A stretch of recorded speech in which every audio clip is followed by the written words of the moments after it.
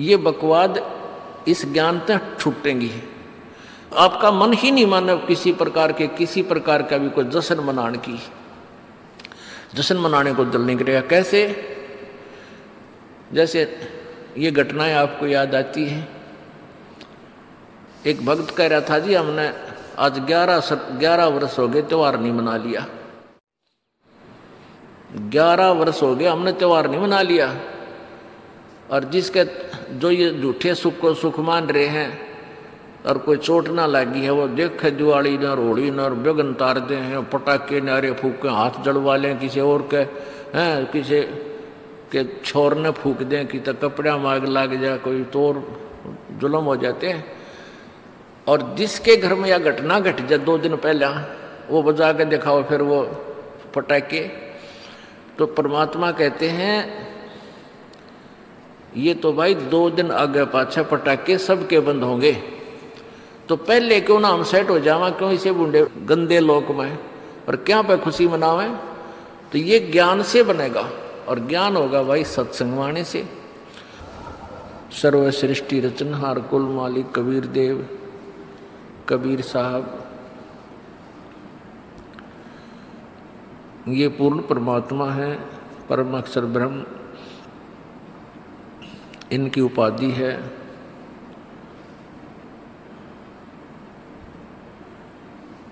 ये परमात्मा स्वयं ही आकर के यथार्थ ज्ञान का प्रचार प्रत्येक युग में करते हैं।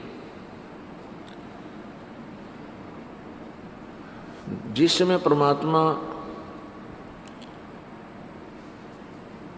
प्रत्येक युग में आते हैं, उस समय तत्कालीन ऋषि और महर्षि वो कथित गुरुजन पूरे भक्त समाज को, पूरे मानव समाज को भक्ति, शास्त्र विरुद्ध भक्ति पर आधारित किए हुए होता है।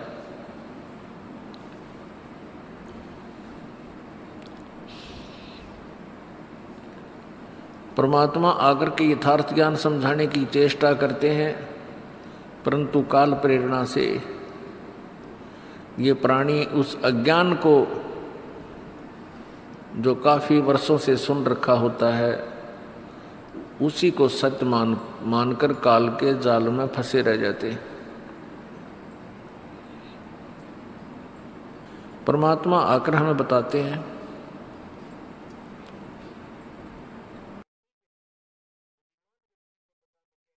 राटते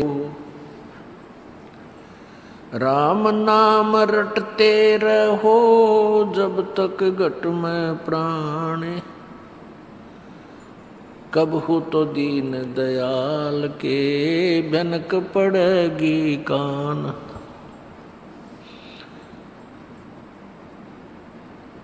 इस मिट्टी के महल में मगन भया क्यों मूडे? कर साहेब की बंदगी उस साई को ढूंढे। पृथ्वीपति चकवे गए जिनके चकर चलंत। रावण सरीखे कौन गिणे हैं ऐसे गए अनंत। कबीर थोड़ा जीवना ये मंडे बहुत मंडाने। सभी उभा। पंथ सिर ये राव रंग सुल्तान। कबीर, एक दिन ऐसा होएगा, सबसे पड़े बिछो। राजा राणा, छत्रपति, सावधान क्यों न हो? कबीर उजड़ खेड़े ठीकरी ये गड़गड़ गए कुमारे। ये रावण सरीखे चले गए भाई लंका के सिखदार। कबीर कहाँ गर्बियो ये देही देख सुरंगे। बिछड़ ब्या मिलबो नहीं, जो कचली भोजंगे ये परमात्मा, परमेश्वर कबीर जी, इस बोले जीव को, जो काल के जाल में इस झूठे सुख को सुख मानकर निश्चिंत होकर फंसा पड़ा है। उसको क्या समझाना चाहते हैं कि झूठे सुख को सुख कहे, ये मान रहा मनमोद। ये सकल चबीना काल का कुछ मुख में कुछ गोद। जिस लोक में हम फंसे पड़े हैं इसका राजा, इसका मालिक, इसका स्वामी, प्रभु, भगवान, ये ज्योति निरंजन है, काल है। इसी को ब्रह्म, ये ब्रह्म नाम से भी प्रसिद्ध है। और ब्रह्मा, विष्णु, महेश इस काल ब्रह्म के पुत्र हैं। इस काल ब्रह्म ने सत्य लोक में, उस सच्चे लोक में जहाँ कोई कष्ट नहीं, कोई दुख नहीं, कोई जरा और मरण नहीं, बुढ़ापा नहीं, कोई रोग नहीं। हम वहाँ रहते थे, वहाँ इस काल ने एक गलती की थी और हमने भी इसके साथ, हमने भी एक गलती की थी जिस कारण से हम इस काल के जाल में फंस गए। तो इसने और भयंकर गलती की थी, जिस कारण से इसको ये श्राप लग गया, एक लाख मानव श्रीधारी प्राणियों के नित आहार करने का।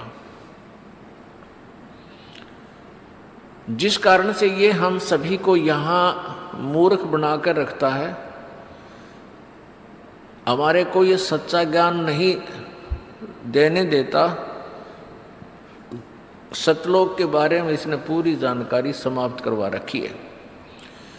अपने से ऊपर किसी प्रभु के बारे में ये सोचने भी नहीं देता किसी प्राणी को। इसको श्राप लगा हुआ है एक लाख मानव श्रीधारी प्राणियों के नित आहार करने का। अब जैसे क्या सोचते हैं हम कि सथुल शरीर तो यही रह जाता है, क्योंकि हम इसी को देख पाते हैं। तो काल खाता किस चीज़ को है? ये ऊपर का जो कवर है, ये तो ऐसा है जैसे सर्प के ऊपर वह कैंचुली होती है। जिसे कांजली का करें कांजली और जब सर्प उस कांजली ने छोड़ देता है तो वो सर्प जैसे आकार की पड़ी रह जाती है, पॉलिथीन जैसा, प्लास्टिक से का, कवर सा उसका। और ओरिजिनल सर्फ न्यारा है। ऐसे ही ये ऊपर सथुर शरीर तो ऐसा है सूक्ष्म शरीर के ऊपर, जैसे सर्फ के ऊपर या कैंचुली होती है, कांचली। तो उस सूक्ष्म शरीर को 21 में ब्रह्मांड में बने तपतशिला तपतशिला के ऊपर डाल देता है। तपतशिला माने पत्थर की टुकड़ी, तपत माने जलती हुई। जैसे तवा खूब गर्म हो जाता है, ऐसे उसके ऊपर डाल देता है जिस प्राणी ने, जिस व्यक्ति ने पूरे जीवन में जो भी आहार किया, चटपटा भोजन खाया भाई, शराब पी ओका पिया, और भी जो फंड करे तो उन सब का अंश उस सूक्ष्म शरीर में समा जाता है। उस सूक्ष्म शरीर को गर्म करके वहाँ से पिंगल उस सूक्ष्म शरीर में से उस गंध को निकाल लेता है। ये जीव मरता नहीं सूक्ष्म शरीर में, लेकिन पीड़ा घनी होती है। उसको ये खाता है। उसके लिए, अपने आहार के लिए हमें यहाँ पर बाई फोर्स रोक रखा है। प्राणी को इतना विवश कर रखा है, अपने तीनों पुत्रों को एक एक गुणयुक्त बना के। ब्रह्मा जी को रजगुण युक्त है और विष्णु जी सतगुण और शिव जी तम गुण युक्त कर दिए। इन तीनों में से निकल रहा प्रभाव प्रत्येक प्राणी को रह रहकर प्रभावित करता रहता है। जिस कारण से ये प्राणी जैसे कोई शराब पी लेता है या कोई नशे की गोली ले ले खा लेता है तो उसके बाद उस प्राणी के बस की बात नहीं, वो कैसे बै की बै की बात करता है, कैसे लड़ लड़खड़ा के चल रहा है, वो भी बस है। और ऐसे ही करेगा चाहे एक हज़ार ने शराब पिला दो, सब एक जैसी एक्टिंग करेंगे। तो ऐसे इन तीनों गुणों का प्रभाव हम सब प्राणियों के ऊपर प्रभावित है। और जिस कारण विवश होकर के ये प्राणी संतान उत्पत्ति करते हैं। ये संतानों उत्पत्ति रजगुण ब्रह्मा के गुण के प्रभाव से। और फिर आपस में मोह ममता, ये भगवान विष्णु जी के सतोगुण पर्व के प्रभाव से। और फिर क्रोध, गुस्सा, लड़ाई, झगड़ा नरे कुक्रम तार दे तो ये तमगुण शिव जी के गुण के प्रभाव से। परमात्मा हमें ये समझाना चाहते हैं कि तुम जिस संतान और संपत्ति को अपनी मानते हो, ये तुम्हारी नहीं है। ये आपकी नहीं है और आप इसको अपनी मानकर इसी से चिपके रह जाते हो जब आपका शरीर अंत होता है। उस समय भी आपकी आस्था ये रह जाती है कि ये मेरा है, ये मेरा है, ये मेरा है। तो पुनर्जन्म आपका वहीं किसी अन्य प्राणी के रूप में आपके वहीं उत्पन्न हो जाते हो। कोई कुत्ता बनकर उसी गली में, उसी परिवार के लठ खाने के लिए फिर जन्म ले लेता है।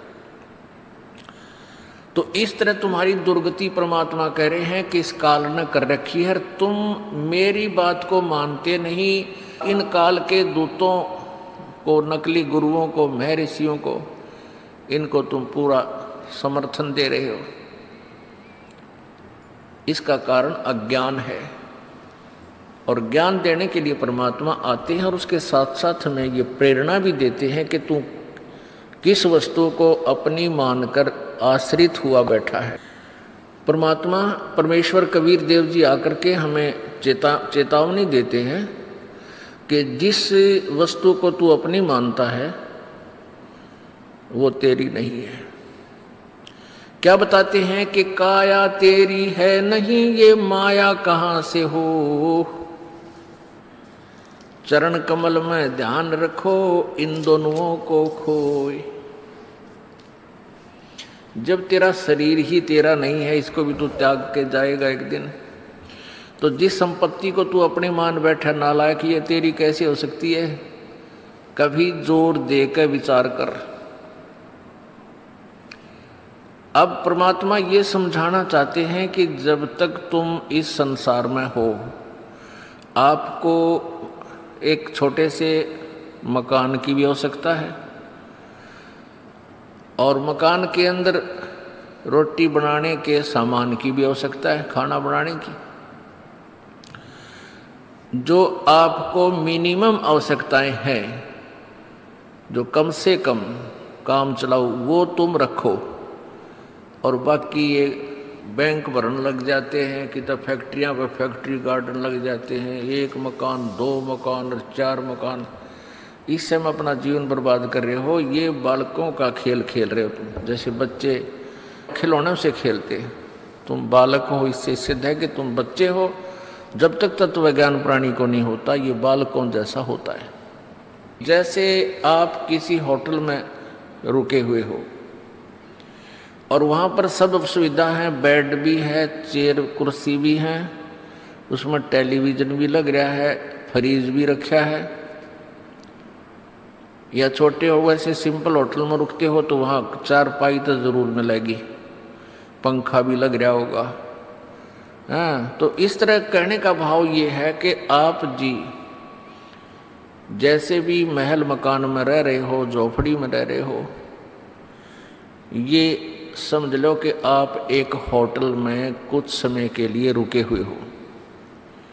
और जब होटल त्याग कर प्राणी आता है तो उन कुर्सियों में, मेज में, चाहे वहाँ टीवी, फ्रीज में, उसका लगाव नहीं बनता, क्योंकि उसको पता होता है, ये मालिक के हैं, मेरे नहीं।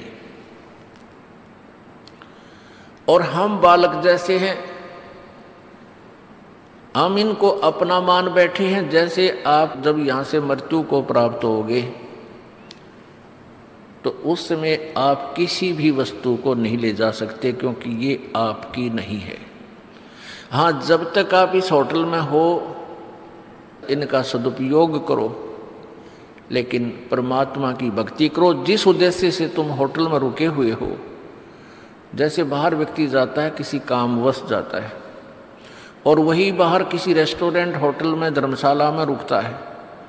तो उस मूल उद्देश्य को छोड़कर उसी में लेटा रहे उस समय सारे ठाठ, जो है ना गुटी सूटी भी लाए, जार फ़िल्म देखें, जावर मूल काम न करे, नहीं तो कंगाल होका होगा वापस।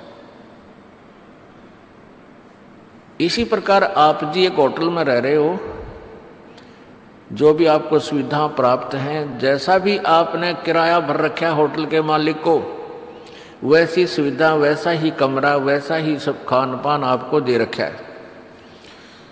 लेकिन आपका मूल उद्देश्य क्या है? चाहे कोई अच्छी सुविधा युक्त होटल में रुका हुआ है, बिजनेसमैन, और बिज़नेस करने गया हुआ व्यापार करने, और एक सिंपल सी धर्मशाला में रुका हुआ है और दोनों का उद्देश्य यही है कि हम बिज़नेस करें, व्यापार करें और दुगने तिगने पैसे कमाकर अपने स्वदेश चले।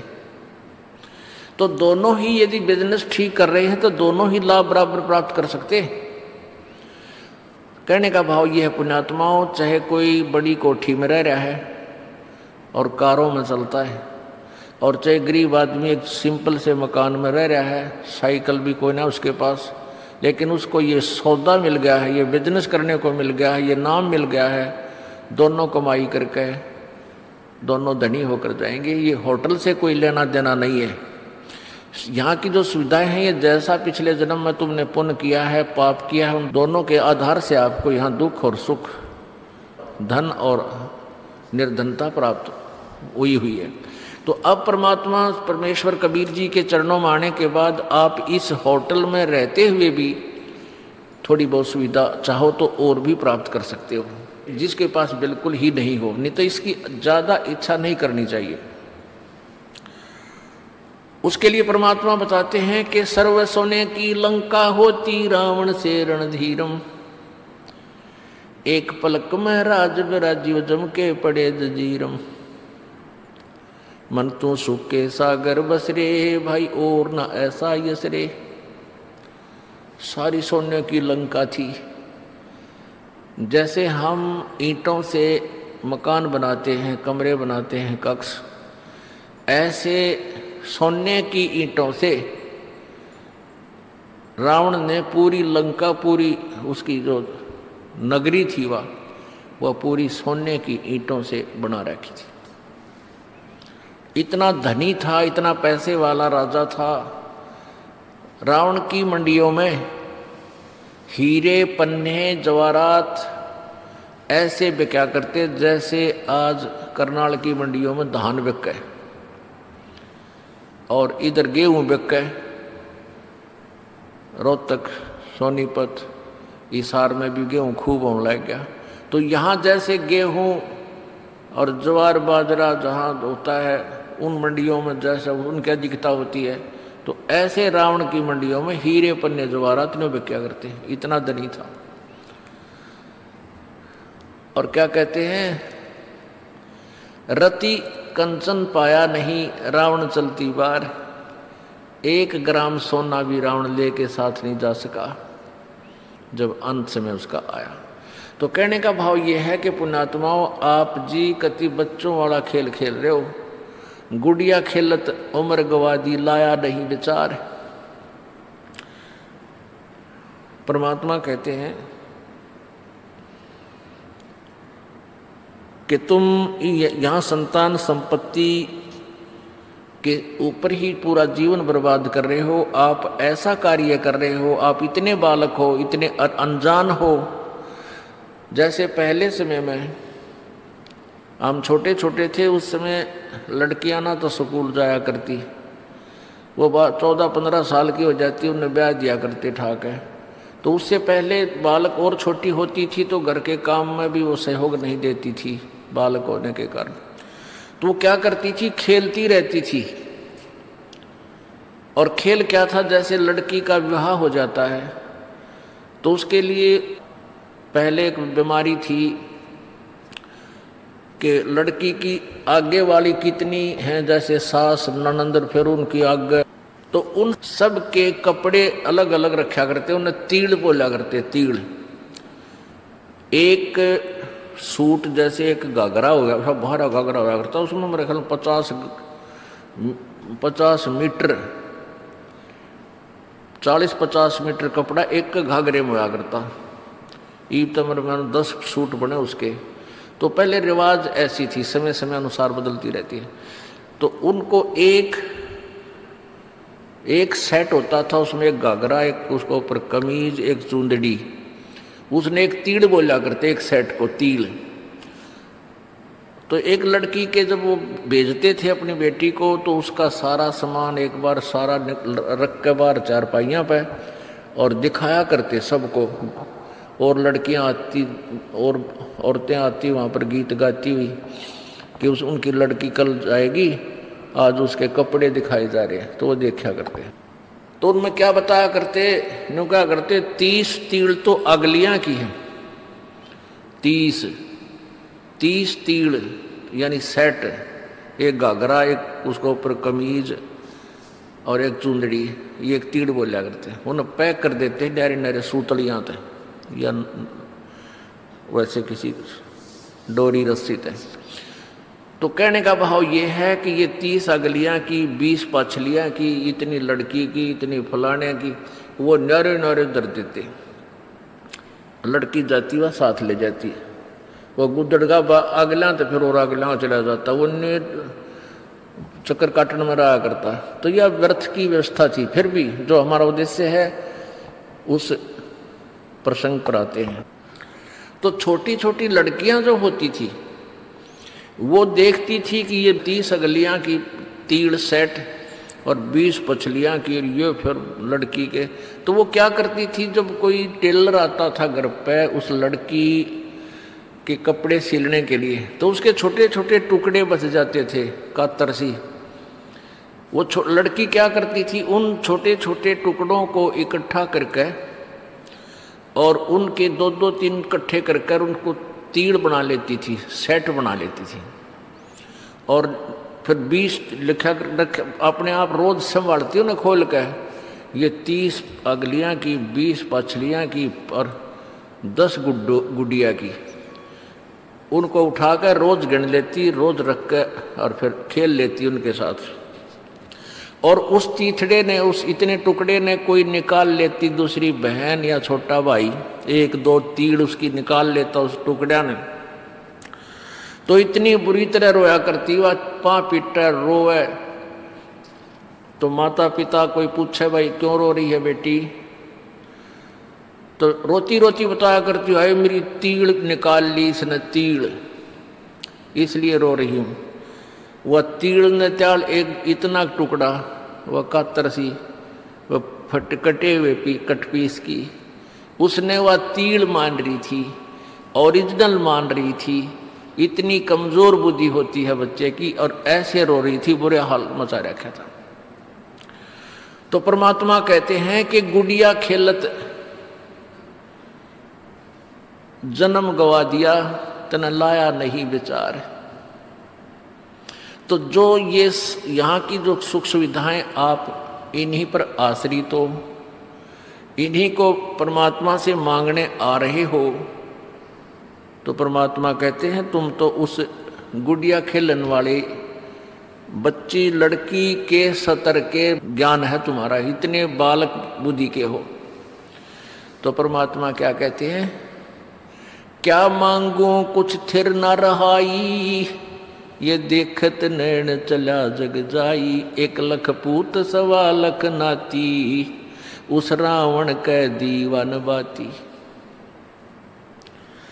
परमेश्वर कबीर जी कहते हैं, अपने ऊपर आप ही, अपनी महिमा आप ही बताते हैं। अपने आप ही उदाहरण बनते हैं कि यहाँ की किस वस्तु को मांगू भगवान से? क्या मांगू कुछ थिर ना रहाई? और देखत नैन चला जग जाई। परमात्मा से क्या मांगे हैं? किसी के संतान नहीं है तो एक संतान मांगने आते हैं। किसी के पास धन नहीं है तो भगवान से केवल धन रोज़गार मांगने आते हैं। तो परमात्मा कहते हैं, भाई के मांगू? या कोई सथाई तो को ना। रावण का कहते हैं, एक लाख पुत्र थे और अंत में वो एक लाख भी ना रहे। और आज उस रावण का कोई दीवा लावणिया नहीं रहा। सब चले गए धीरे धीरे सब खत्म हो गए। और तुम एक ही पुत्र को प्राप्ति के, करने के लिए परमात्मा का आगे खाड़े कर देते हो। जो चीज़ मांगनी चाहिए भगवान से, वो तुमने याद भी को जा क्या मांगे? भक्ति दान गुरु दीजियो देवन के देवाओ। भक्ति दान गुरु दीजियो देवन के देवाओ। जन्म पाया बोलू नहीं कर हो पद सेवा हो। एक मांगे सब कुछ मिल गया। जब परमात्मा आपको भक्ति देगा तो भक्ति बख्शीश कर दी तो भक्ति में जो भी चीज़ बाधक होंगी, जिसके कारण टेंशन बन के भक्ति बाधक बनेगा तो उस टेंशन को एडवांस में आपकी खत्म करता चलेगा भगवान। इसका उदाहरण देते हुए परमात्मा कहते हैं, के मांगो कुछ ठहर ना रहाई, देखत नैन चला जग जाई। एक लख पूत सवा लख नाती। उस रावण के आज दीवान बाती अब जैसे पुण्यात्माओं, बहुत से उदाहरण हैं। आप याद को नहीं रखते, क्योंकि हमारी बुद्धि पर इतना दबाव, प्रेशर है इस काल का, कि हम थोड़ी सी देर सुनते हैं सत्संग तो याद एकदम आता है पुण्यात्माओं का, जिनके पाप बहुत अक्षीण हो चुके हैं। उनके तो हृदय में ठेस लगती है, बहुत कशक बनती है कि सचमुच या तो बात बिगड़ी पड़ी है।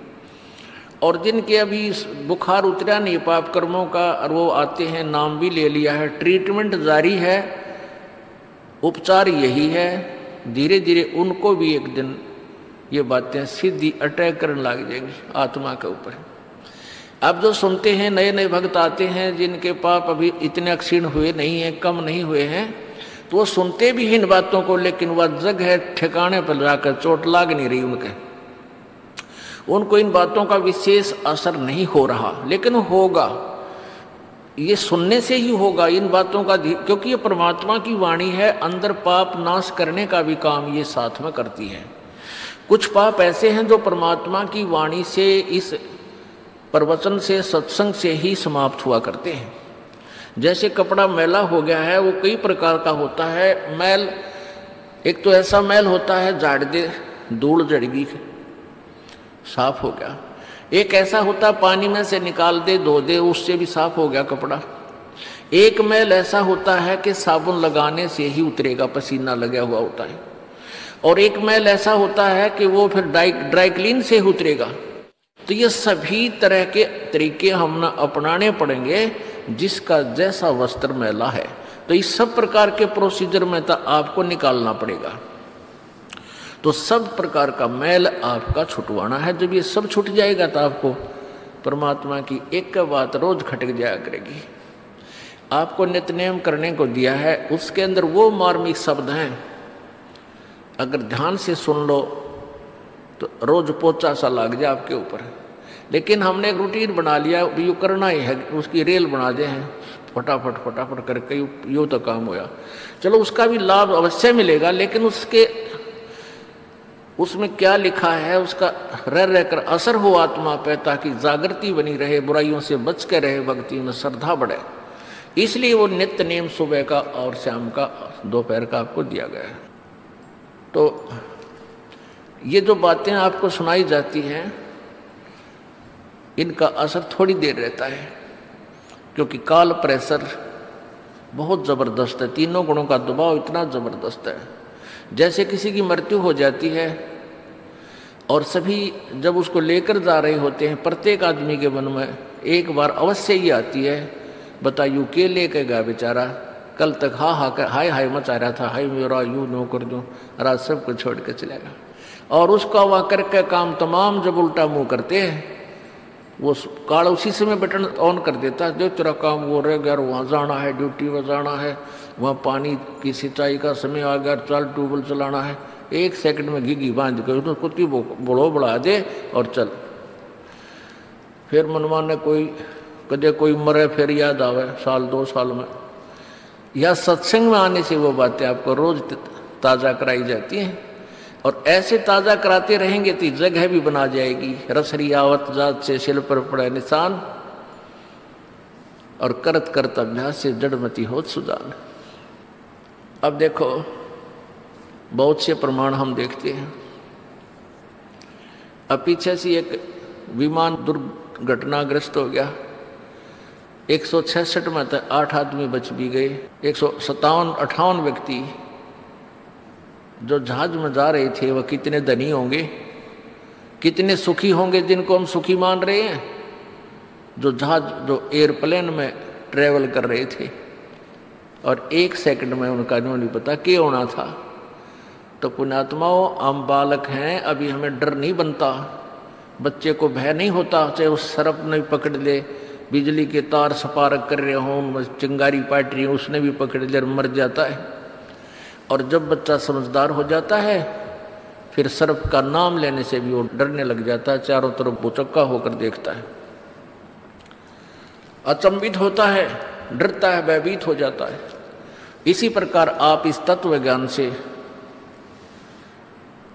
आप शाने बन जाओगे, आपके विचार जमा हो जाएँगे मैचोर हो जाएँगे।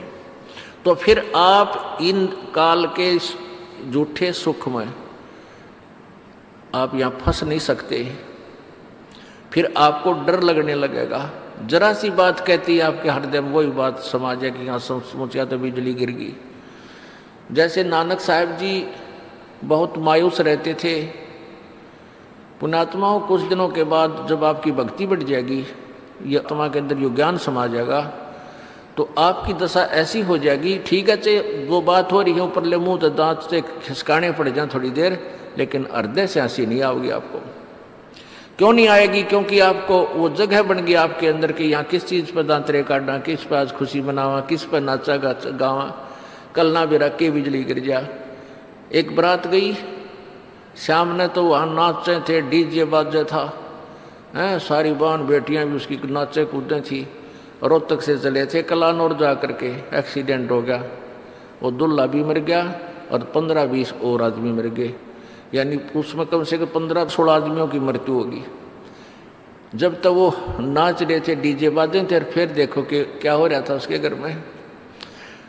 तो पुण्यात्माओं, ठीक है, ब्याह शादी भी करनी है, पर इन बकवादों की क्या आवश्यकता है? जो हम बकवाद करते हैं, बेमतलब का पैसा बर्बाद करते हैं, शराब पीते हैं हैं, दूसरे पर दहेज लेते हैं, अपने कर्म फोड़ते हैं, जहर खाते हैं, वो दूसरे का पैसा लेकर के, इसी करके हम ना धनवान हो पा रहे ना सुखी हो पा रहे इंसान वही सुखी होगा जो अपने पैरों पर खड़ा होकर भगवान के अतिरिक्त किसी से आगे हाथ नहीं फैलावे।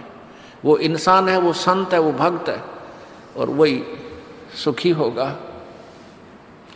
नहीं तो ये फिर लेन देन बना ही रहेगा। और पीछे बताया था आपको एक आंध्र प्रदेश का वो मुख्यमंत्री हेलीकॉप्टर में जा रहा था। हेलीकॉप्टर पता नहीं कित तो मेरा पड़ा जाके तीन दिन तो उसकी लाश नहीं मिली, जंगल में पड़ गया कितने ढूंढा भी ना पाया। और कितनी उमंग थी उसकी, कितनी आशाएँ थी, क्या करूँगा, ऐसे करूँगा, वैसे करूँगा। ना जाने कितना दुखी कर रहा होगा फिर उसकी बिरानवाटी कुत्ता कौव्या लाश खाई उसकी। पुण्यात्माओं, भगवान से डर कर रहना पड़ेगा। जो भगवान से नहीं डरते, वो बालक है, नादान है, उनको बहुत भयंकर पीड़ाएँ का सामना करना पड़ेगा। मंगोलिया देश का एक पूरा कैबिनेट, उसमें सत्तानवे अठानवे व्यक्ति एक के जहाज़ मजाओ थे किसी और का दुख व्यक्त करने के लिए। और सारे एक जहाज़ में, एक कब्र में मर गए हाय हाय। और बाकी बच रहे हैं, मैंने सोचा भाई तुम लूट लो लूट। परमात्मा कहें, लूट सको तो लूटियो, या राम नाम की लूटे। पीछे फिर पछताओगे, प्राण जहांगे छूट। जिस लूट को तुम लूट रहे हो, ये लूट नहीं है। ये लूट लूटो राम नाम की, परमात्मा की, भक्ति, दान, धर्म और सेवा की। या लुटी जाती, या लूट है, इसको लूटो। अब जैसे हम किसी को कहते हैं, पता चलता है कि जी ये भगत जो है ना, डांस करे था, इनका ब्याह था। नाचे थे। अपुणात्मा मन, इस दास के क्योंकि टीचर है, धमकानी भी पढ़ते हो, खुरकाने भी पढ़ते हो, और ये भी कहना पड़ता है भी, अगर ऐसे तुम मर्यादा भंग करोगे तो भगवान मदद नहीं करेगा तुम्हारी, या बेशक बताया करो। चलो ये तो उन बच्चों को जो ज्ञान नहीं समझ रहे हैं, जिसने साल छः महीने नाम लिए हुआ है, सत्संग भी कम सुन पाए हैं, उनसे गलती हो जाती है तो उनको तो खुरका धोखा का हम फिर सेट कर देते हैं, आगे से नहीं करोगे, आगे करोगे ऐसी क्रियाएँ तो मालिक साथ नहीं देगा, आइयो से मत आइयो। ये नियम है प्रभु का। तो ये तो हम तब तक कहते हैं जब तक आपका ज्ञान मैच्योर नहीं हुआ, और जो जिनका ज्ञान मैच्योर हो गया ये दास के कहने की ज़रूरत ना पड़ेगी, आपका मन न को नहीं माने। आपकी आत्मा ही नहीं मानेगी कि ये बकवाद करूँ। अब इतना बिगड़ गया मानव समाज। आज से 20 30 40 साल पहले जब हम बालक थे, छोटे थे, उस समय ब्याह शादियाँ देखी हमने, ना तो कोई डांस करने का मतलब भी नहीं। कोई अभद्र ढंग से कोई बोल भी नहीं सकता था गाँव में। और ईब बाप भी नाचे, माँ भी नाचे, और बेटी भी नाचे। सरेआम जुलूस काट दिया। अन्यों कहीं मॉडर्न हो गई, टट्टू हो गया सारा। सारा नाश कर दिया सा अपनी इज़्ज़त का। सरेआम नाचे, बेटियाँ भी। वो तो वैसे ही नाचा करती कहीं बंद कमरों में। और आज सरेआम लड़कियाँ नाच रही हैं, फिर उसको बड़ी खुशी मना रही है, क्योंकि इतना सतर गिर गया, ज्ञानहीन हो गए हम। तो हमने इस, ये बकवाद इस ज्ञान तक छूटेंगी। आपका मन ही नहीं माने किसी प्रकार के, किसी प्रकार का भी कोई जश्न मनाने की। जश्न मनाने को दिल नहीं करेगा। कैसे? जैसे ये घटनाएँ आपको याद आती हैं। एक भक्त कह रहा था, जी, हमने आज ग्यारह ग्यारह वर्ष हो गए, त्यौहार नहीं मना लिया। ग्यारह वर्ष हो गए, हमने त्यौहार नहीं मना लिया। और जिसके, जो ये झूठे सुख को सुख मान रहे हैं और कोई चोट ना लगी है, वो देखे दिवाली न, रोड़ी न, और बेगन तार दे हैं पटाखे नारे फूक हाथ जड़वा लें किसी और के, हैं, किसी के छोर ने फूक दें, कि तो कपड़ा माग लग जाए, कोई तोर जुलम हो जाते हैं। और जिसके घर में यह घटना घट जाए दो दिन पहले, वो बजा के दिखाओ फिर वो पटाखे। तो परमात्मा कहते हैं, ये तो भाई दो दिन आगे पाछा पटाखे सबके बंद होंगे। तो पहले क्यों ना हम सेट हो जावा? क्यों इसे बूढ़े गंदे लोक में? और क्या पे खुशी मनावे? तो ये ज्ञान से बनेगा। और ज्ञान होगा भाई सत्संग वाणी से। तो कह रहा था जी जैसे कभी तो हमारे घर में मेरा पिता की डेथ होगी। हाँ, और फिर एक साल भर तक वो पैक हो गया एक साल कोई त्यौहार नहीं मनावाएँगे कुछ दिन के बाद बहन का बटे होगी अगले साल बहन का बटे वो मर गया। उससे अगले साल कोई और रिश्तेदार कति निकट के होगी, फिर घर में, फिर दोबारा चाचा का नंबर आ गया तो कहते, ग्यारह साल हो गए, हमने कोई दो, त्यौहार मनाए। तो पुणात्मा ये गंदा लोक है, यहाँ पर तो हम ढीठ होकर खुशी मना रहे हैं। यहाँ खुशी की कोई सक कोई जगह नहीं। जैसे एक परमात्मा कहते हैं, बेटा जाया, खुशी हुई और खूब बजाए थाल। ये तो आना जाना लगा हुआ है जो कीड़ी का नाल। एक का जो है ना, दस बारह वर्ष के बाद पुत्र प्राप्ति हुई। तो उस पुत्र के, यानी उस लड़के के दादाजी ने आसपास के दस बारह गाँवों की नोते दे दिए उड़ा खूब खाना खुना खिलाया शराब स्वरूप पार्टी, यानी खुशी का ठिकाना नहीं रहा। एक वर्ष के बाद वो पोता मर गया। इब टक्कर मार रहा है, वहाँ पर मना ले खुशी क्या की मनावे। तो नानक साहब जी ऐसे संत महापुरुष थे भगत जन वहाँ आते थे, उनके विचार सुनते थे, लेकिन वो जैसे साधु संत ऐसे रहते हैं जैसे इसका कुछ गुम हो गया, जैसे ये बीमार है, इसको कोई तकलीफ़ है, उसको तकलीफ़ नहीं होती। कबीर परमात्मा के अपने आप उदाहरण देकर कहते हैं कि कबीरा वैद बुलाइया, पकड़ के देखी बाँ। और वैद न वेद न जाने ही मेरा करक कलेजे माँ। कहते हैं, डॉक्टर बुलाया, डॉक्टर ने नाड़ी देखी बाँ पकड़ के पहले ये थे थर्मामीटर, हाथ से देखा करते हैं। और वैद कहता है इसका कोई बीमारी नहीं और रोज सूखते आवे। कहते हैं, कबीरा वैद बुलाइया पकड़ के देखी, बाँ। और वैद न वेदन जाने ही मेरा करक कलेजे माँ। उस परमात्मा की और यहाँ के दुखों का जो दुख है यहाँ के दुखों को देख देख कर कुत्ते ने देखे खाज कि तो कीड़े पड़ रहे उसके, हैं, किसी खाज लग रही है। ये भी पहले आप जैसे अड़े चौड़े वो कांडे थे और बढ़िया बढ़िया सूट गाड़ के चल थे। भक्ति करी को नाच बिरान माटी करवा ली। तो ये बातें उनको तुरंत याद आने लग जाएँगी जिनकी आँखों का मोती या बिंदु का ऑपरेशन हो गया। अर्थात जिनको तत्व ज्ञान हो गया। अब तो हम देखते हैं कुत्ते हैं, गधे हैं, सुअर हैं हैं, बैल है, जोड़ रखा गाड़ी में भर रखा सामान, चलता नहीं तो दे लट्ठा दे लट्ठा, गद्दा है गधोरी उस पर तो हमने सोचा ये तो ऐसे बनते रहेंगे और हम ऐसे ही मनुष्य बने रहेंगे। काल ने ऐसी बुद्धि भ्रष्ट कर रखी हमारी। क्योंकि ज्ञान है नहीं। ज्ञान हो तो हम ये नहीं सोच सकते, क्योंकि यहाँ तो प्रत्येक प्राणी का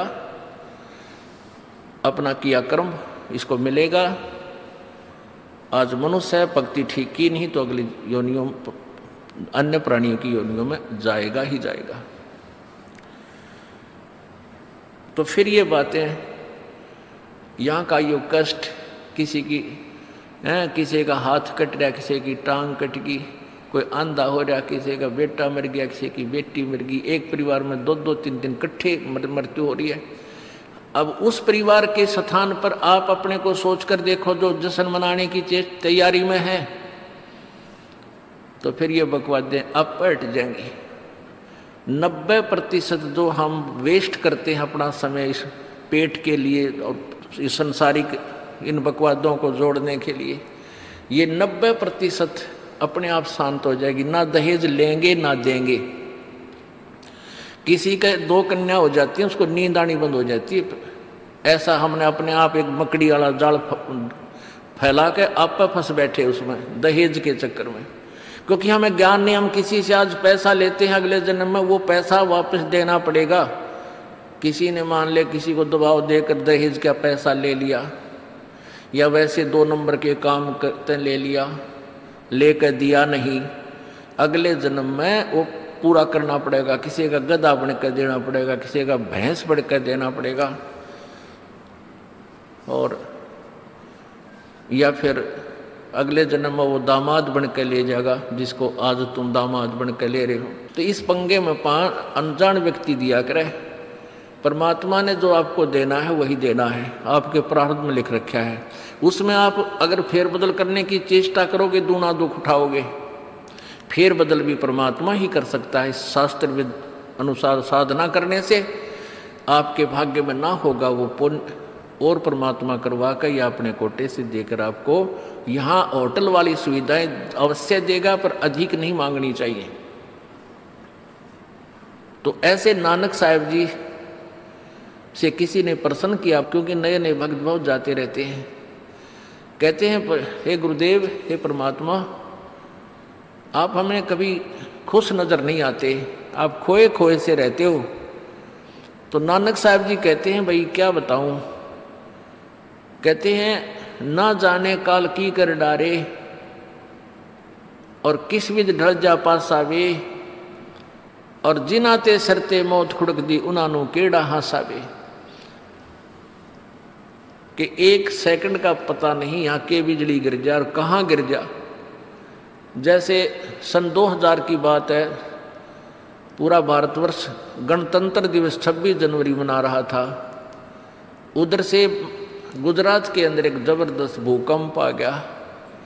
लाखों व्यक्ति अपने ही मकानों के नीचे जो तीन तीन चार चार मंजिल के सारा जीवन पीढ़ी, दो पीढ़ी लाग कर बनाकर उसमें जश्न मना रहे थे। उन्हीं के नीचे दबके और लाखों व्यक्ति मर गए। सुबह सुबह का समय छुट्टी का दिन और सारे घर में सेट थे। काल ने किसा दाव लगाया। तो यहाँ परमात्मा कहते तुम तो बालक हो बालक कति डरते नहीं। जरा से भी डर जब हो जब आपको ज्ञान हो और ज्ञान हो सत्संग से। सत्संग मान का समय नहीं। कि तो और बकवाद हो रही हो देख लो दुनिया इकट्ठी हो जा। और यहाँ कित, कितने भक्त आप आते हैं? जो आ पाते हो, बहुत महान और पुण्य आत्मा है, उनके पिछले संस्कार इतने ज़बरदस्त हैं कि उनको प्रेरित करके लाते हो, परमात्मा की रजा होती है उनके ऊपर।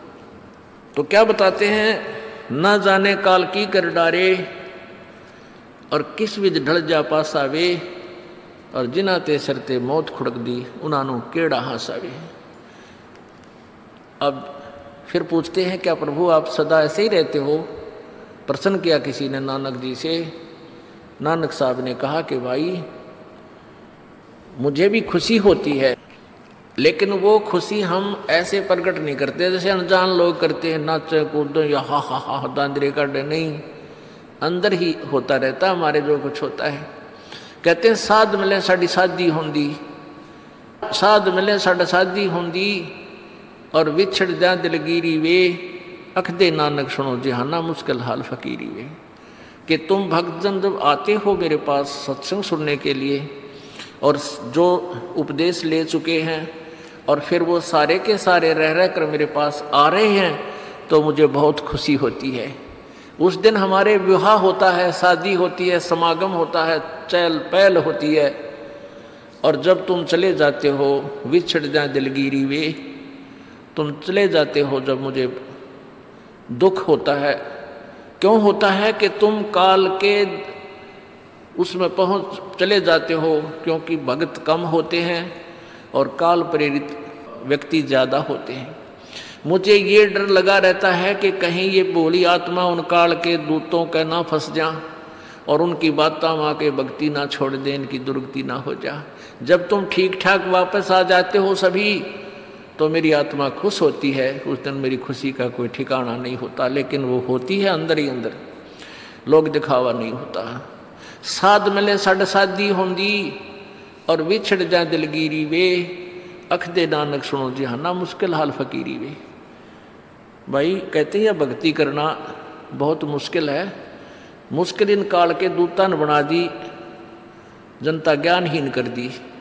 जो भक्ति नहीं करते, वो तो सीधे काल के जाल में है ही। जो भक्ति करने की चेष्टा करते हैं तो किसी का तो पति लाठी ठाए पाओगा।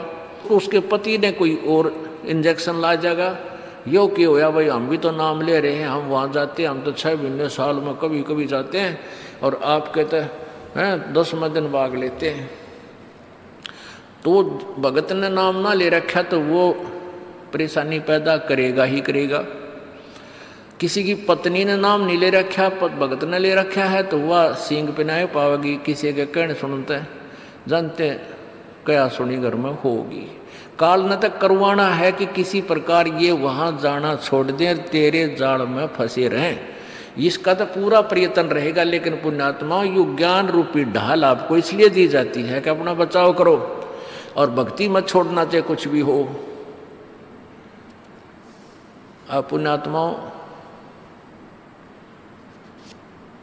अपने घर के काम में, ठीक है, पति, पत्नी, बच्चे, सब कोई कार्य करना है तो सब मिलकर सलाह बनाकर कर लें। बहुत अच्छा होता है। उसमें कोई हानि, लाभ भी हो जाती है तो विशेष दुख नहीं होता। उसमें अवश्य राय एक दूसरे की लेकर काम कर लेना चाहिए। और जब आता आत्म कल्याण का समय, उसमें किसी की राय की आवश्यकता नहीं। मान लीजिए आपने नाम लेना है और आपका पति नाट्य है तो नाट्य जागा। ये अपने अपने जीवन का सौदा तुमने खुद सोचना होगा। इसमें किसी की राय की आवश्यकता नहीं।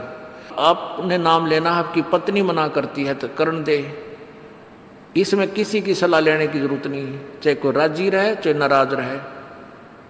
यदि मीरा बाई उस समय ये सोचती कि तेरी माँ के कहेगी, तेरे पिता क्या कहेगा, ये समाज क्या कहेगा, तू मंदिरों में जाती है, क्योंकि उस समय ठाकुर समाज अपनी बहन बेटियों को घर से नहीं निकलने देते थे, पर्दों में रखते थे। लेकिन मीरा बाई बालक नहीं रही थी, समझदार थी वह उसको पता था कि आज तो मैं लोक लाज कर, मैं आकर भक्ति नहीं करूँगी, और फिर कुतिया बनकर बाज़ार में आंडूँगी, कोई मेरी इज़्ज़त का रक्षक नहीं मिलेगा। तो ये ज्ञान से ही ऐसी दृढ़ता आती है, संघर्ष किया और सफल हुई क्योंकि मालिक के नाम पर जो संघर्ष करते हैं, सच्चे दिलते हैं हृदय से, उनकी परमात्मा मदद किया करता है। ये पिछले इतिहास देख लो। क्या बताते हैं? मात पिता सुत स्त्री, आलस बंधु कान संत दर्शकों जब चले, ये अटकावे आण। मात पिता सुत पुत्र को कहते हैं, स्त्री, जैसे कोई बालक हैं, पंद्रह, सोलह, दस वर्ष के, उन, वो माता पिता के अधीन होते हैं। और बच्चे का समझ में आ गई, और माता पिता मना करते हैं तो उनके अधीन है वो। और बच्चे जवान हो गए, बूढ़ा बूढ़ी अगर समझ में आ फिर वो बालक बाधा करेंगे। वो रोकते टोकते हैं, तीसरा दिन चल पड़ते हो, किराया कितने नामा फलाना है, यानी कुछ ना कुछ बाधा कर सकते हैं। किसी का पति बाधा कर सकता है, किसी की पत्नी बाधा कर सकती है। जब भक्ति की तरफ़ अग्रसर होता है या सत्संग में आने की तैयारी करता है, या फिर आलस बंधुकान, आलस माने आप ढीले गोडे छोड़ दे फिर देखांगे इबका नहीं जाता सर्दी गनी है गर्मी गनी है और या बंधुकान लोकलाज इनके कारण ये है भक्ति में बाधक अब क्या बताते हैं परमात्मा मात पिता सुत स्त्री आलस बंधु कान संत दर्शकों जब चले ये अटका में आण इनका अटकाया अटके नहीं और संत दर्शकों जाए, कह कबीर सो संत है आवागवन नसावे इनका अटकाया अटके नहीं। और संत दर्शकों जाए, यानी सत्संग में अवश्य जावे, कह कबीर सो संत है आवागमन नसाए उसका कल्याण होगा। आज मीराबाई जी का कितनी श्रद्धा और आदर के साथ नाम लिया जाता है। और यदि वो उसी तरह की क्रियाएँ करती जो उस समय की बहन बेटियाँ लोग लाज में फंसका अपना जीवन बर्बाद करगी। आज वो कुतिया बनी हंड है। परमात्मा कहते नकबे सर नकबे बनी, वह पैर थी हार हमेल। और सुंदरी से वह कुतिया बनी, सुन साहिब के खेल। बीबी पड़ते रहे थी, डोडी लगे थी बार। अब गा तो गाड़े फिरती हैं बन कुतिया बाज़ार। वो पर्दे की सुंदरी सुनो संदेशा मोर। इब गा तू गाड़े फिरती हैं, वो करें सराय शोर अब जो डोडी पर्दे जिनका लग गया करते, पर्दे में रहा करती थी, जो अपने आप को ऊंच घरों की बेटियाँ बहू कहा करती थी, उनका सत्संग की छीट लगी नहीं करते बाहर निकली नहीं पूर्व जन्म की पुण्यात्मा थी उनको, कोई रानी बन गई, कोई माँ रानी बन गई, कोई अच्छे घर में जन्म इस मायाधारी मस्करिया का जन्म हो गया। और वो भगवान से दूर रहने के कारण फिर अगले जन्म में कुतिया की योनि पाती है। तब तो पर्दों में रहती थी, उंगली भी ना दिखण दे थी किसी बाहर कहीं हमारी बेजती ना हो जा, मेरी पत्नी जो है सत्संग में चलेगी तो इज़्ज़त का नाश हो जाएगा। और वह इज़्ज़त फिर उगाड़ी अंड है, कुतिया बनकर कहते नकबे सर नकबे बनी पैर थी, हार हमेल। एक एक लाख के गहने पैरा करती। आज वो सुंदरी से कुतिया बनी देख साहिब के खेल। तो पुणात्मा ये इन बातों से डर लगना चाहिए। इन बातों से डर लगने लगेगा, मालिक में रुचि बनेगी और भजन करने को दिल करेगा। और ये लोग दिखावा जो ड्रामा है, नाचा कूदी, ये बकवाद मन में आवे को नहीं। ये कहने की आवश्यकता नहीं पड़े, दास ने कैसा मत करियो। हाँ कहना तो पड़ता है एक बार बालक को, कुछ दिनों के बाद फिर आपकी रुचि ना बढ़े। इतना तो इस दास को विश्वास हो गया है कि परमात्मा के बच्चे भगवान को पहचानने लग गए क्योंकि अब शिक्षित समाज है। आपको नाम दिया जाता है। नाम देने से पहले सब नियमों से परिचित कराया जाता है। और हमने ये पुस्तक बनाई है भक्ति सौदागर को संदेश। इसके प्रथम अध्याय में ही हमने नियमों का पूरा विस्तार से विवरण दिया है कि कोई भी पुण्यात्मा इस आश्रम की तरफ़ आएगा तो पहले तैयार होकर आवे पहले क्या होता था कि भक्तजन समझाते थे, नाम ले लो, तुम्हारा कल्याण हो जाएगा, बड़े सुख होते हैं। यहाँ आ जाते थे उपदेश लेने। और यहाँ आकर के यहाँ पर उनको लिस्ट दिखाते थे, ये नियम निभाने हैं तो बात जाते थे कि नहीं, हमारा ये नियम नहीं नंबर क्योंकि वो उल्टे रंग में रंगे हुए वो सारे। तो अब उनको पहले ये लिख कर दे दिए कि तुम तैयार होकर आ जाना, तुम्हारा मन मानने तो आना, क्योंकि कल्याण होगा इस मर्यादा में रहने से। तो अब ये दास देख रहा है कि अब कितना डर लगता है बहन बेटी भाइयों को, बच्चों को। अब वो कहीं, क्योंकि समाज हमारा जो है, सारा का सारा समाज काल प्रेरित है। उन्हीं क्रियाओं को कर रहा है जो ना करने वाली होती हैं। और हमारा भक्त एक एक घर में एक व्यक्ति ने नाम ले लिया। और पाँच छह व्यक्ति वो सारे शास्त्र विरुद्ध साधक हैं। तो उनके साथ संघर्ष बनता है बेचारे का जा करके फिर भी वो इतना दृढ़ है, डरता है, आकर पूछता है, जी, मेरे पे ऐसी गलती होगी, मेरा नाम तो खंड नहीं हो गया। आगे से नहीं करूँगा। तो कहने का भाव ये है कि पहचानने लग गए तुम परमात्मा को और संघर्ष करना सीख गए, आप सफल हो गए, देख लेना एक दिन। ये नाखून पालिश लगाते हैं, ओठों पर इसी बूंदी शकल बना लेते हैं, लाल वो लगा कर, लिपस्टिक, इतना बेउदी शकल बन जाती है। कहते हैं अब ऐसी मर्यादा बन गई। बहन बेटियाँ कहते कि हम ऑफ़िस में जाते हैं तो ये लिपस्टिक वगैरह नहीं लगाते, नेल पेंट पेंट नहीं लगाते। तो क्या कहते हैं उस दूसरे कि तुम्हारे घर में कोई मर गया क्या? अरे थरा गजब भैया ये। बकवाद करने तो सारे जी जाओगे तुम। अकल खत्म होगी। यानी एक मर्यादा बन गई, जो ऐसे उल्टे काम ना करे, उसने हे समझन लागे निरंजन धन तेरा दरबार जहाँ तनिक नहीं न्याय विचार, सारे उल्टे काम मरा जी रहे लेकिन हमारी बेटियाँ अब संघर्ष करती हैं कि हाँ उनको ज्ञान हो गया, वो तो बालक हैं, कुछ भी कह सकती हैं। तो अब हम सबको बताते हैं, ये ऐसा नहीं करना, क्योंकि पहले हमारा ज्ञान गाँव में ज़्यादा चला था। इस दास ने गाँव गाँव में जाकर प्रचार किया। तो वहाँ तो ये था को ना लिपस्टिक का फंड था, ना कोई ना नाखून पालिश लाया करती। मेहंदी मुंदी ला लेती तो यार वो भी मना कर दिया हमने। समझा दिया कि इसका कोई फ़ायदा नहीं है, अपना भक्ति करो। तो वो तो सब एक साधारण सी बात ही छोड़ छाड़ दी। इब शहरों में फैल गया परमात्मा का जो ज्ञान है, अब शहरों से जो बेटियाँ आती हैं, वो सारे तो नाखुना निशी बुरे हाल तो सनाए पाओगी। और इधर बिहार में तो और बेगन हो रहा कति बुढ़ी, बालक, सारे लाल, ये नाखुना न कति जो कुसुती तरह पेंट करके लाओगे इन चमकान दे अब इनको समझाना पड़ता है कि ये नहीं करोगे तो मान जाते हैं कि नहीं, आगे नहीं करेंगे हम। क्यों, इनकी आवश्यकता भी क्या है? भगवान ने जो कितने सुंदर नाखून पहले बना के दे रखे इन पर क्या फ़ायदा और बकवाद करण की? तो मालिक ने जो अंग दे रखे हैं, वो बहुत अच्छे बना के दे रखे हैं। इसमें हमको फेरबदल करें ही हमारी वो लोग दिखावा मेकअप है, इसकी हमें आवश्यकता नहीं। अब तो हम आपको बता रहे हैं, समझा रहे हैं पहली बार, फिर आप आप सियाणे हो जाओगे। आपकी अपर रुचि ना करे। जैसे नानक साहब कहते हैं, ना जाने काल की कर डारे विध डल जा पासा वे जिना के सरते मौत खड़क दी उन्होंने के डांसा वे अब प्रसंग था के साथ मिले, साड़ी शादी होंगी और भी छड़ दिया दिलगिरी वे। अख दे नानक सुनो जहाना, ये मुश्किल हाल फकीरी वे। तो नानक साहब क्या बताते थे कि तुम जाते हो यहाँ से सत्संग सुनकर। और वहाँ आप ऐसे समाज में जाते हो जो सब काल प्रेरित होकर के वो साधनाएँ, वो क्रियाएँ, वो ड्रामाबाजी करता है, जिससे मुझे डर लगा रहता है कि कहीं आपकी क्रियाएँ भंग ना हो जाएँ और आप काल के मुँह में चले जाओ।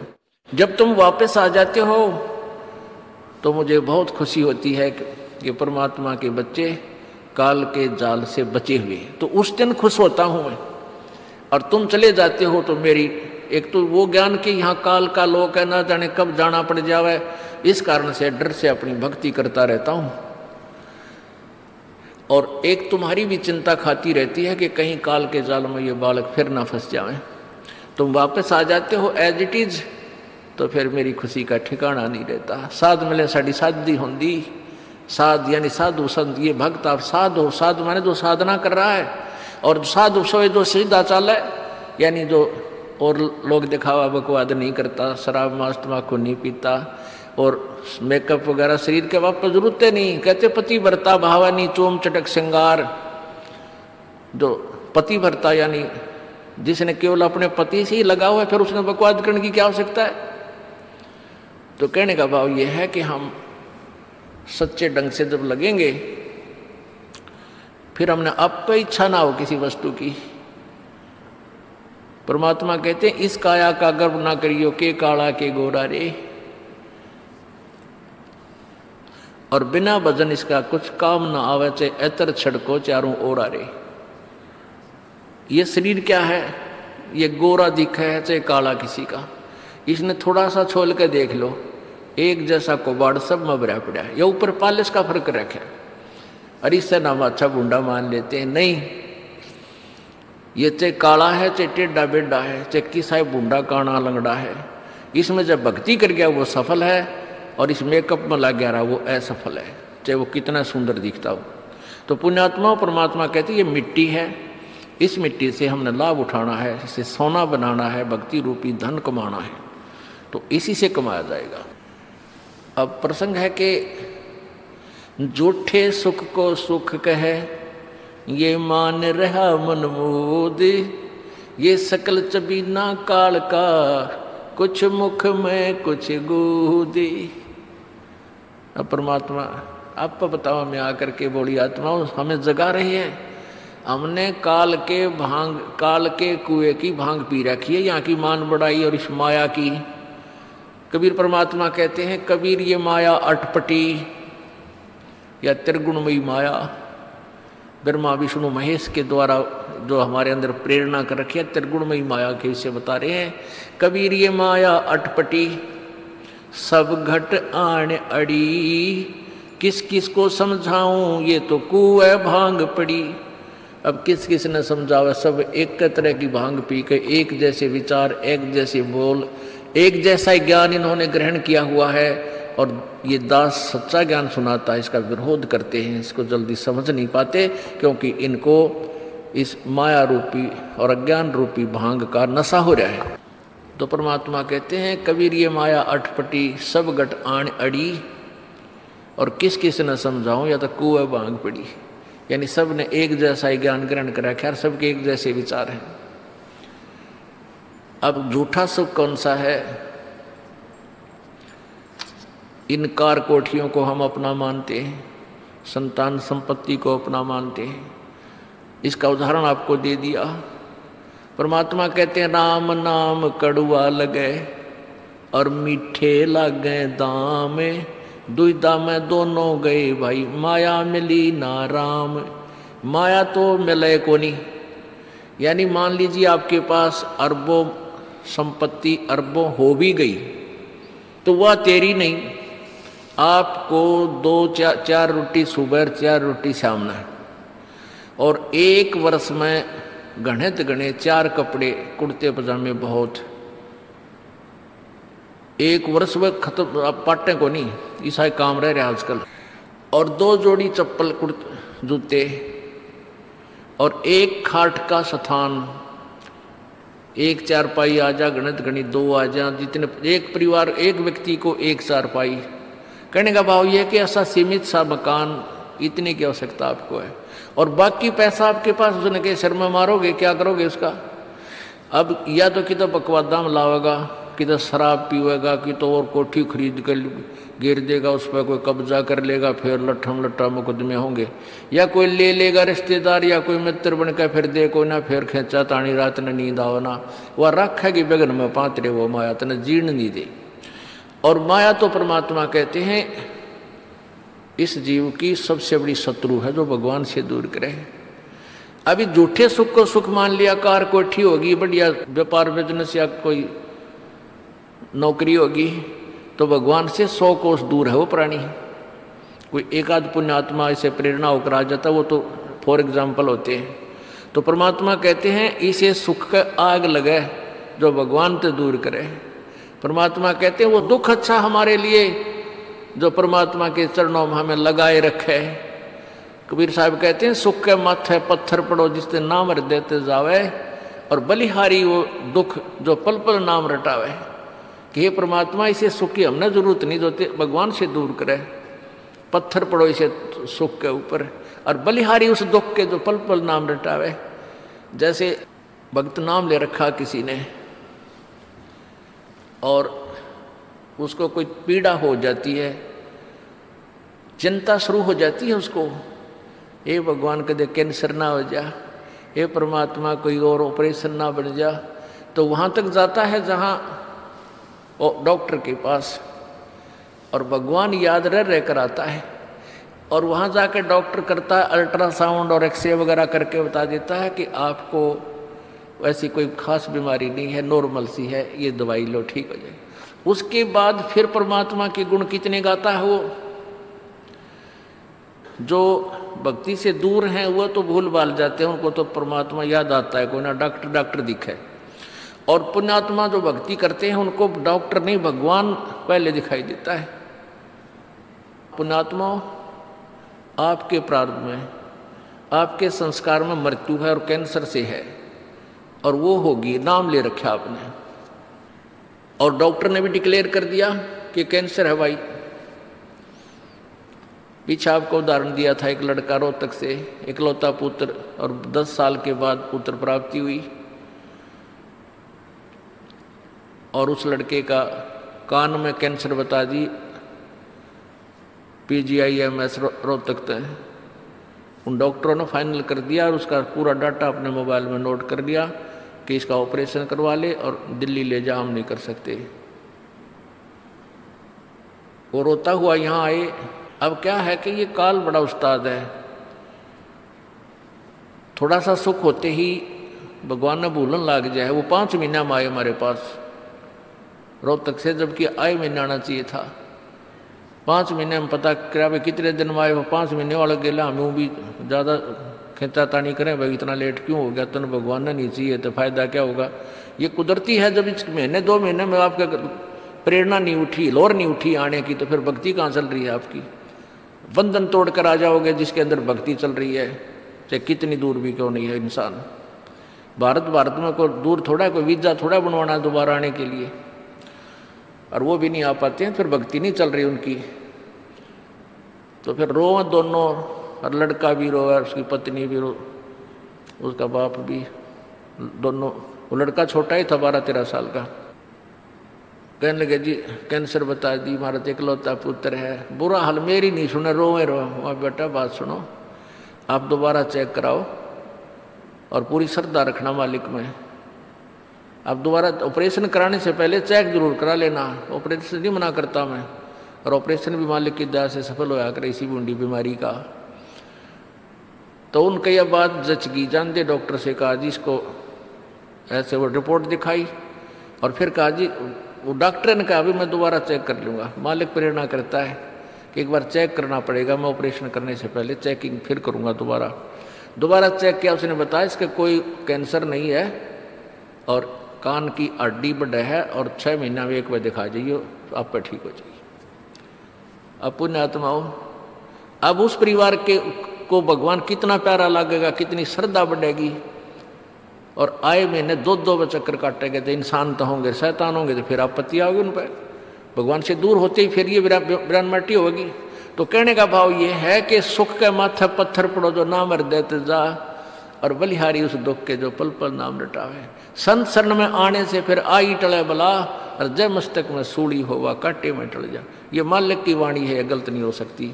इसका हम कितना लाभ उठा सकते हैं, वो हमारी अपने अंत अंत्यकरण की जो है व्यवस्था के ऊपर डिपेंड करता है, हमारी कितनी भावना है, कितनी हमारी लगन है मालिक में।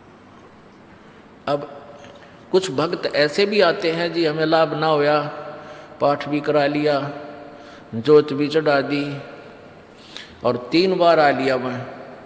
ईसा डिठोरा दिखाऊँगे, मेरा ऊपर जानो बहुत बड़ा मुझे ही ज़्यादा आवश्यकता है, इसने कति नहीं।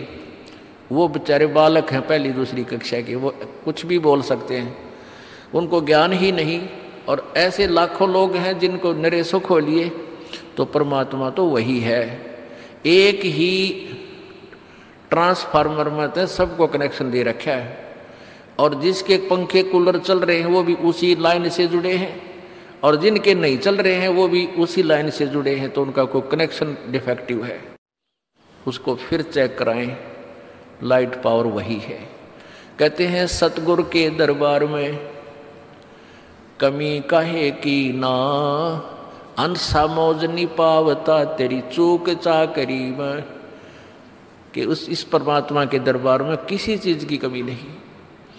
और परमात्मा आप बताते हैं कि यदि तुझे लाभ नहीं मिल रहा तेरी चूक चाकरी में, आपके अंदर कोई श्रद्धा में कमी है, आपकी भावना में कमी है, या आपका कनेक्शन लूज है, आपका कनेक्शन कट ऑफ़ हो गया, वह पावर आ नहीं रही। इस परमात्मा कबीर जी के शब्द कोश में असंभव शब्द नहीं है। इस कबीर परमेश्वर की डिक्शनरी में इम्पॉसिबल वर्ड नहीं है, ये वो भगवान है। और फिर भी हम इससे लाभ नहीं प्राप्त कर पा रहे हैं तो हमारी कोई क्रियाओं में, हमारी भावनाओं में त्रुटि है। और जब तक, देखो, सीधी सी बात है, हमने हैंडपंप से जल लेना है तो पात्र को नीचे ही रखना पड़ेगा। तो सतगुरु के दरबार में आके आपको आधीन होना ही पड़ेगा। आधीन हुए बिना भगवान मदद नहीं करेगा। रावण ने भक्ति भी की, लेकिन उसमें आधिन्य की कमी थी और आधिन्य की कमी उसको लेकर डूबेगी नहीं, रावण जैसी भक्ति कोई सात जन्म नहीं कर सकता, कितना साधक बन जाओ।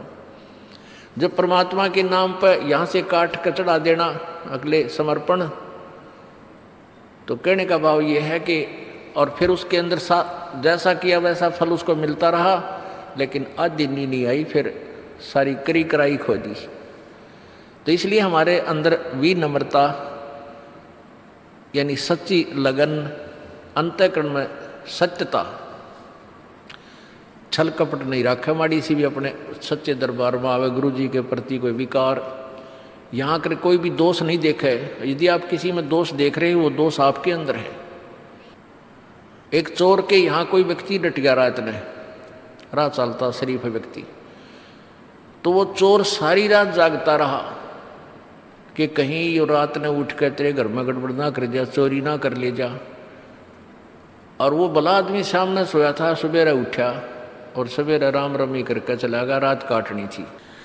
अब वो दोष उस चोर में था कि कदे ये चोरी ना कर ले रात ने तेरा सामान ना निकाल ले जा। और वो भला आदमी चैन सो रहा उसको, उसको लेना नहीं देना। तो ऐसे ही एक घर में चोर आ गया। रात रात चलता व्यक्ति था वो था चोर डट गया किसी के घर पर उस भले व्यक्ति ने वो चोर ना दिखाई दे था क्योंकि उसमें दोष नहीं था।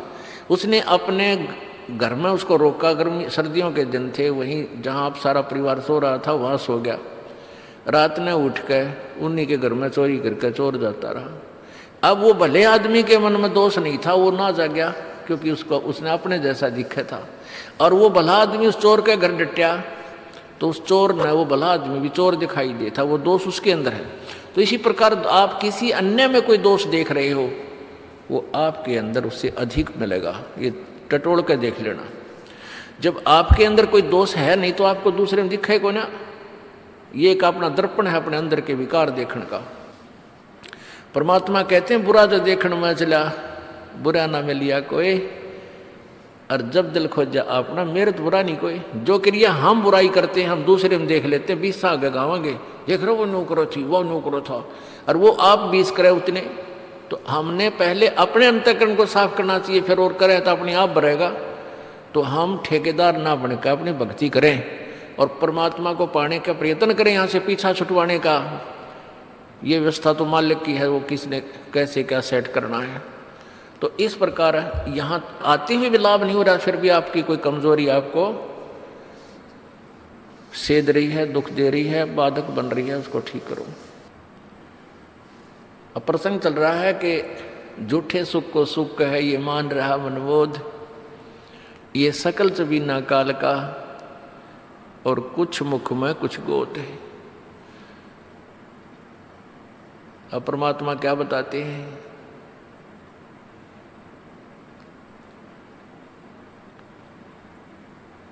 कबीर कहाँ गर्बियो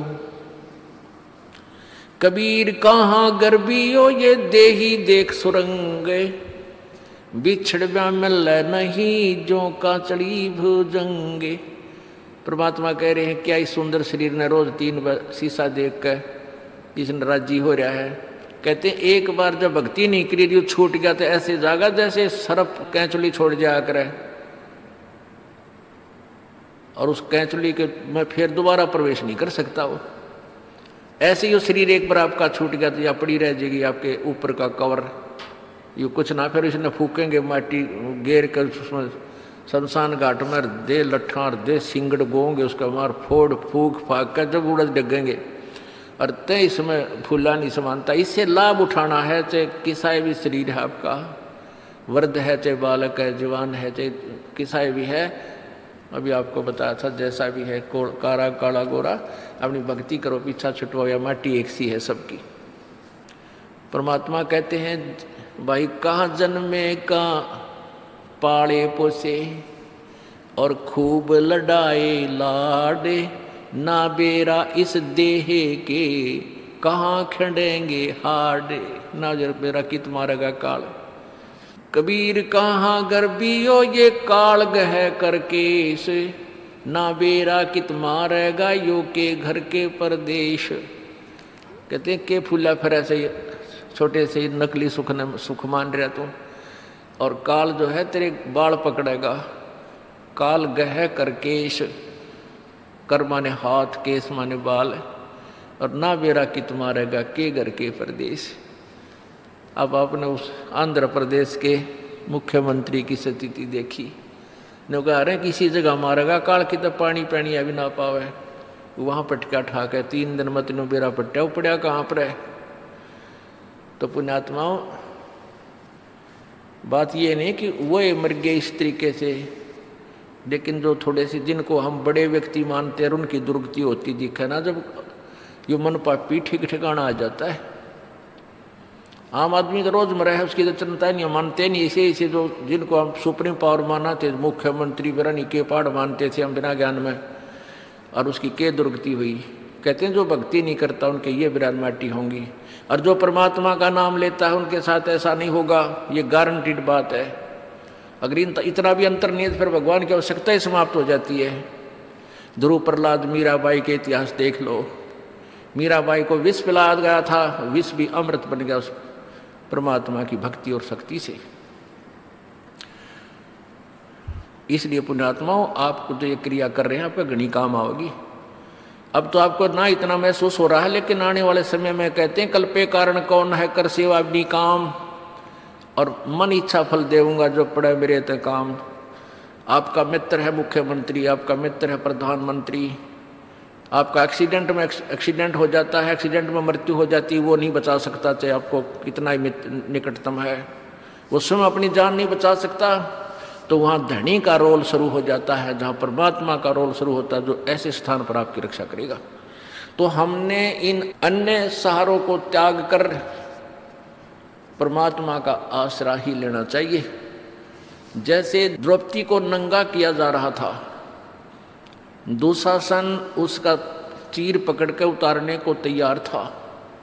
तो पहले तो उसके मन में ये था कि विषम पिता मह द्रोणाचार्य और कर्ण जैसे ये हमारे यहाँ पर वयोवृद्ध बैठे हैं, हमारे पूर्व बुज़ुर्ग बैठे हैं।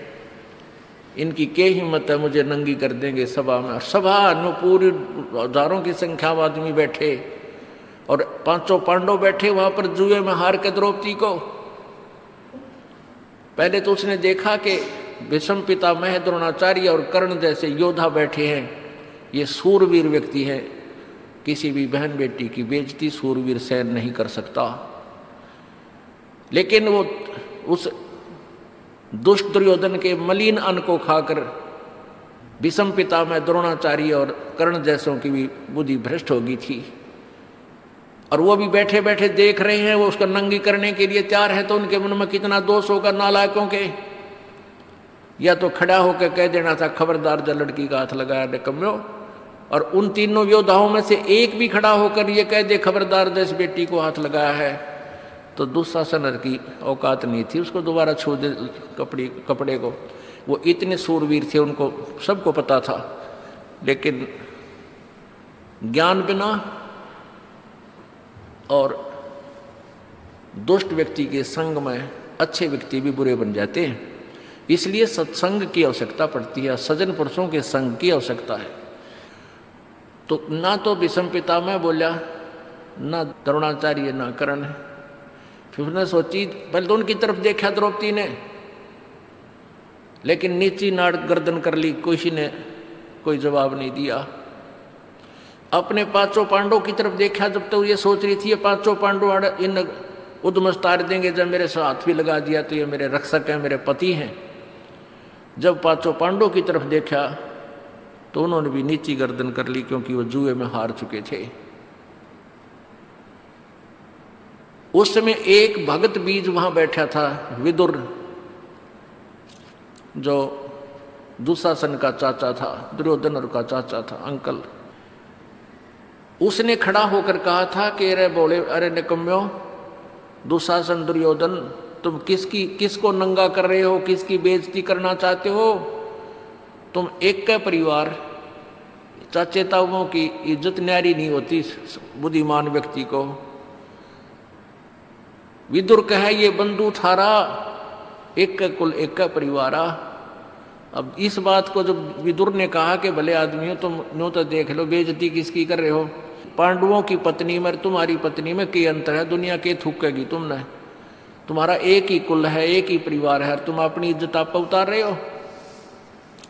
कहते हैं दुस्सासन ने, दुर्योधन से छोटा भाई था जो, अपने चाचे के मुँह पर थप्पड़ मारा, कि तू तो पांडवों का चमचा है इन की ओर बोलिया करे सदा तो तो बांदी का जाया जाया है ना तो बांदी से उत्पन्न हुआ है, क्योंकि वो बांदी से जन्म था।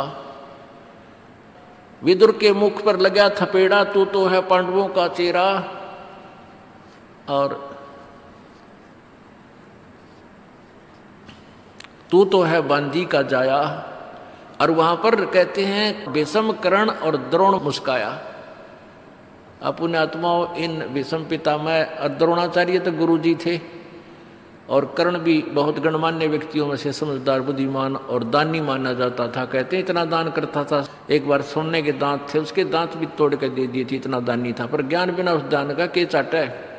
विवेक बिना इंसान इंसान नहीं रहता। तत्व ज्ञानहीन प्राणी चाहे कितना भी अच्छा दिखता हो, वो अच्छा रह ही नहीं सकता।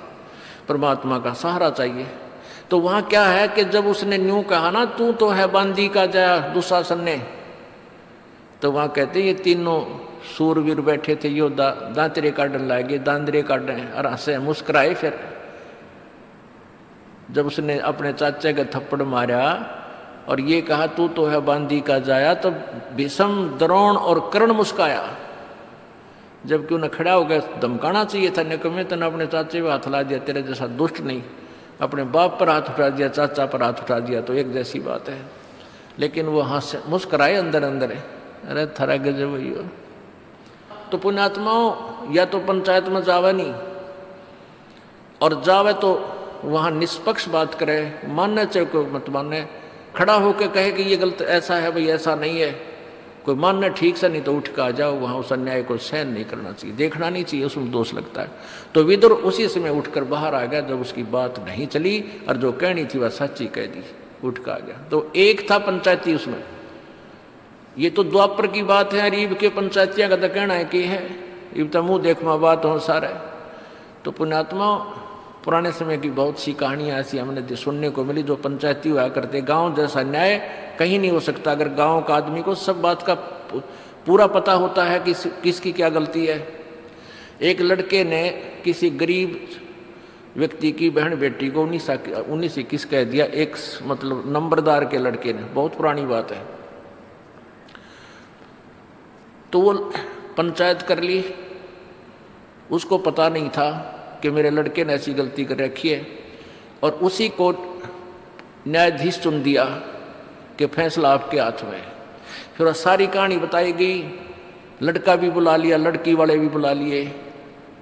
जब उसको पता चला कि मेरे इकलौते पुत्र था, उसने आज ऐसी गलती की है तो उसके पास गन थी। उसी समय अपने पुत्र की तरफ़ निशाना साध दिया कि तो मेरा बेटा नहीं, मेरा दुश्मन है। तो जिसकी लड़की थी, उसने उसकी, उसको ऊपर को कर दिया, लड़के का नहीं लगने दिया।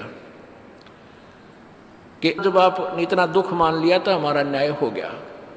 और ईब के है साँझ ने पंचायती, शाम ने कुछ बात करें सवेरा गुटी ला के बदले पावे।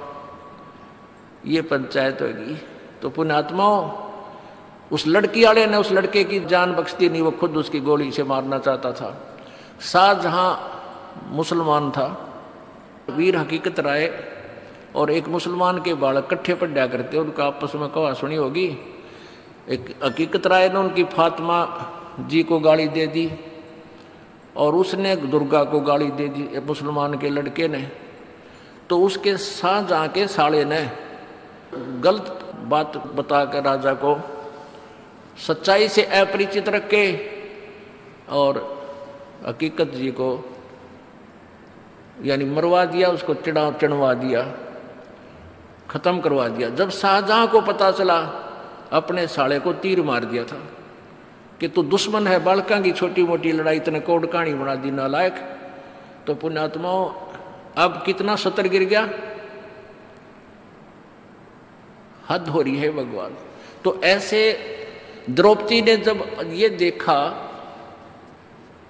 कि भाई, पहले तो उसने सहारा तकिया अपने पाँचों पतियों का, वो भी योद्धा थे, भीम जैसे बलि। और फिर उसने आसरा तकिया सहारा लिया, सामने बैठे उन बुज़ुर्गों का विषम पिता मह, द्रोणाचार्य और कर्ण का। और फिर भी कोई सहयोग कहीं से नहीं मिला। परमात्मा कहते हैं भीषम पितामह द्रोणाचार्य और कर्ण तो उस दुर्योधन, क्योंकि दुर्योधन को राज प्राप्त हो गया था। दुर्योधन के पास रहते थे उसने अच्छे बाग में रखे हुए थे, वहाँ खूब मेवा, फल फ्रूट खिलाया करता था, सेवा करता थे उसके नौकर। उस मलिन अन्न को खाकर वो उससे दबाव में आगे बंद गए उसके साथ। इसलिए नहीं सच्चाई कह सके। और पाँचों पांडव जुए में हार चुके थे, वो वचन बंद हो बंद हो चुके थे, वचनों में बंद गए थे। तो परमात्मा कहते हैं, बंधे से बंधा मिला छूटे कौन उपाय, और कर बंदगी निर्बंध की जो पल में दे छुड़ाए अब जैसे चार आदमी नारे नारे अलग अलग खंभा तो बाँध रखे हैं, और एक बंधा हुआ दूसरे बंधे से कहता, तू मुझे खोल दे, मैं आपके आगे हाथ जोड़ता हूँ। तो क्या वो बंधा हुआ व्यक्ति उसको खोल देगा? हाँ कोई खुला व्यक्ति आ जाता है, उसको प्रार्थना करे तो सारे के बंधन खोल दे। तो परमात्मा निर्बंध है, बाकी सब बंधे हुए हैं, चाहे मंत्री है, चाहे मुख्यमंत्री है, चाहे प्रधानमंत्री है, चाहे पूरी पृथ्वी का कोई शासक है। केवल परमात्मा का सहारा लेने से ही हम परमात्मा से लाभ प्राप्त कर सकते हैं। हम दूसरे का सहारा लेते हैं तो परमात्मा पीछे हट जाता है। इसलिए हमने अपने ईश्वर को आगे रखना चाहिए प्रत्येक काम में। देखो, आप डॉक्टर के पास जाते हो, डॉक्टर दवाई दे देता है। आपको आराम हो गया। तो हमारे मन में ये आता है, डॉक्टर की दवाई से नहीं। भगत के मन में ये आओगा कि मेरे परमात्मा ने दया करी। नहीं तो वो डॉक्टर दवाई दे, उसका रिएक्शन कर जाती है, दूसरे आदमी का। दवाई देता है वह दूनी, दूने एक्शन शुरू कर देती है, वो लगती है कोई ना। और परमात्मा की शरण माने के बाद आपको वो बुद्धि परमात्मा डॉक्टर भी उसी कंट्रोल में है। ऐसी दवाई दिवाओगा एक गोली तो ठीक हो जा। और ना तो वह बात बढ़ के करा कि अपने कह खड़ी हो जा, ऑपरेशन तो भी पांडा ना छूटे। तो इस प्रकार कोई भी कार्य हमारा होता है, चाहे किसी से भी होता है करे करावे साई मन में लहर उठा, दादू सरदर जीव के अब बगल हो जा। आपके मन में भी नहीं आएगा कि इस व्यक्ति ने मेरा काम कर दिया, जब आप ज्ञान से परिचित हो जाओगे आपको केवल परमात्मा ही याद आएगा, भगवान। मेरे परमात्मा ने ऐसा किया, दाता, आप बिना हो ही नहीं सकता था। तो करा करावे साइया मन में लहर उठा, करावे किससे थे? लेकिन हमारा काम भगवान बिना नहीं होगा, और होता भी नहीं।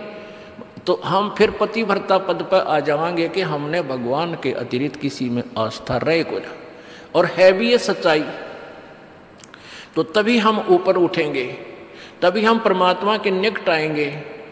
और परमात्मा के निकट आएँगे तो फिर सारे लाभ होंगे, कहते हैं, कल्पे कारण कौन है कर सेवा निकाम। अब तू रह रह कर कल्पना करता है, कदे न्यू ना हो जाए न्यू ना हो जाए, भगवान न्यू हो जाए कहता, तू निस, निष्काम भाव से सच्चे दिल से बिना मनोकामना पूर्णा के अपने करता रहे तू सेवा, पूजा कर, साधना कर। मन इच्छा फिर देवे, देवेगा जो पड़े जनीते काम। फिर आपको मन चाया फल देगा जब उस मालिक के सत्र का काम आवेगा। हम के मांगा हाँ मैस नहीं ना हुई, है, आज दूध ना दिया। ठीक है, गरीब आदमी ने इतना दुख बतेरा है, यो भी। लेकिन आप भक्ति करो, जो मर्यादा हमने बता दी इस नाम को जप, जपते रहो। इसके जपने से, साधना करने से ये जो संसारिक सुख आपके आप पर होंगे। इस मंत्र में, इस भक्ति में, ये बट नेचुरल है, ये बाई प्रोडक्ट है इस भक्ति का, जिसको तुम मांग रहे हो। जैसे किसान ने गेहूँ बोने हैं, गेहूँ बीजने का मुख्य उद्देश्य है अपनी जीवन रक्षा करने का, परिवार की जान बचाने का, कि हमें गेहूँ मिले, कणक मिले। उसके लिए भूसा उसका उद्देश्य नहीं होता, वो तूड़ा उद्देश्य नहीं होता। अब देखा हमने कई, पहले बड़े बड़े फार्म जिसके 20 20 50 50 एकड़ 40 40 सौ सौ एकड़ ज़मीन है, वो क्या करते हैं कि कंबाइन से कटा देते हैं। वो ऊपर ऊपर से गेहूँ निकाल लेते हैं और तूड़ा भूस पड़ा रहे वहाँ पर, ऐसे छोड़ देते थे। उनका उद्देश्य गेहूँ ही प्राप्त करना था। तो ऐसे ही हमारा उद्देश्य मोक्ष प्राप्ति है।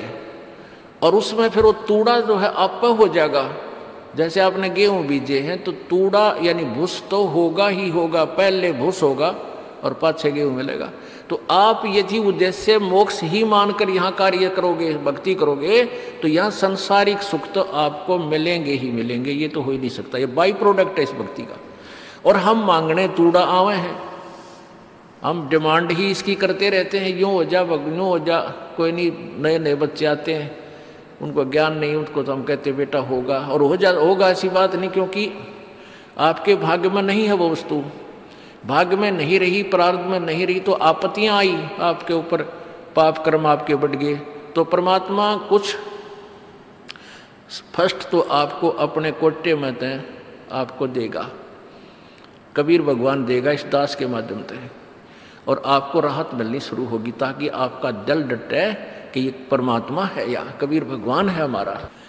अब धर्मदास जी ने कबीर परमेश्वर जी से पूछा कि हे भगवान, कोई आप चमत्कार नहीं दिखाते? अब भोली बाली आत्मा शुरू शुरू में इसे प्रश्न किया करते हैं। परमात्मा बोले, भाई, संत चमत्कार नहीं दिखाया करते। वो तो बंडेलिया का काम, वो है जादूगरा का। और फिर क्या देखता है? कुछ दिनों के बाद वो भी ठीक हो गया उसका भी आराम हो गया वो, रोता आया था उसका सुख हो गया। तो धर्मदास कहता फिर आप ये महाराज जी आपने तो कमाल कर दिया कति चमत्कार करके दिखा दिया आज वो फुलाना ठीक हो गया। परमात्मा बोले भाई संत चमत्कार नहीं करा करते और वो संत नहीं जिससे चमत्कार ना हो। अब दोनों बात है। जातुरन्यो हो जाएगा जातुरन्यो ये ऐसे संत नहीं कहा करते। वो तो ड्रामेबाज और माया के लोग भी बकवास किया करते हैं। संत चमत्कार नहीं दिखाते, नहीं करते। और वो संत नहीं जिससे चमत्कार ना हो, अब दोनों बात हैं, समझदार समझ गए होंगे। अब प्रसंग चल रहा था कि हमने परमात्मा को ही आधारित मानकर चलना पड़ेगा। और परमात्मा में कितनी श्रद्धा हो? के साई यो मत जानियो प्रीत घट मम चहत, मरूं तो तुम सुमृत मरो, जीवत सुमरो नत। अब एक भक्त की कैसी भावना होनी चाहिए अपने परमात्मा के प्रति? परमात्मा में इतना प्यार, इतना कसक, इतना लगाव हो कि भगवान को ऐसे ही मत समझना। परमात्मा को ऐसे ही ना समझना मेरे दिल में प्रीत कम ना हो जा। साई यो मत जानियो, प्रीत घटे ममचत और मरूं तो तुम सुमृत मरूं, और जीवित समरुन्नत, कि परमात्मा को ऐसे ही कोई ऊपरले भाव से ही इसमें लगाव मत बनाना। परमात्मा ऐसी वैसी चीज़ नहीं है। ये बहुत ही इम्पोर्टेंट वस्तु है और इसको ऐसी वैसी बात मत समझना। यानी जिसका नाम भगवान और सारी सुख दे, और फिर हम उसको ऐसे, वैसे ऊपरले भाव से उसमें लगाव रखते हैं।